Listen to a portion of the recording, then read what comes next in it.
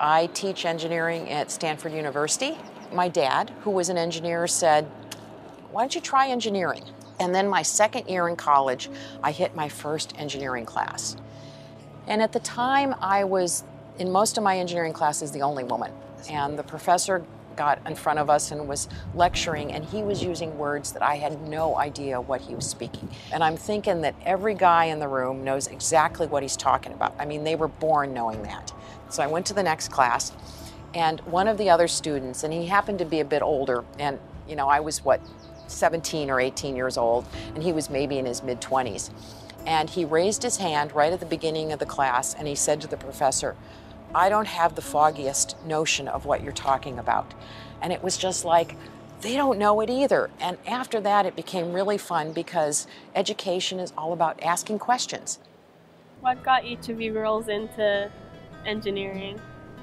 Like, look at the world and be like, okay, just because it's been this way before does not mean this is the way it has to be. And if you mm-hmm. take that mindset and you apply it to the teams you work on, the organizations you're part of, the projects you do, I'm not gonna just keep things going the same way that they've been going before. And it's hard because people wanna look at someone and say, I can do that.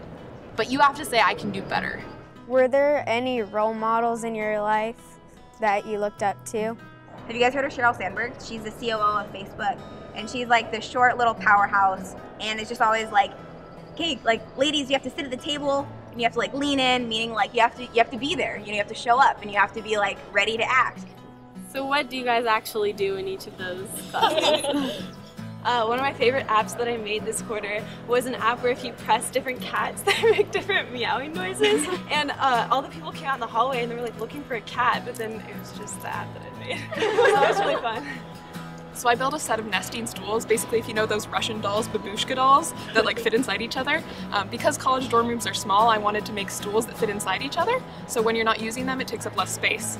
And so I designed those from the beginning, then I modeled them in SolidWorks, and then I actually was in the shop doing a ton of welding, um, and also a lot of woodworking, and now I have some really cool stools that I can use every day. So, oh my gosh, really that's awesome. So like I'm interested in studying animals like tuna or birds and then making cool robots out of that. Um, so for the last question, could we please have a hug? Oh, oh hug?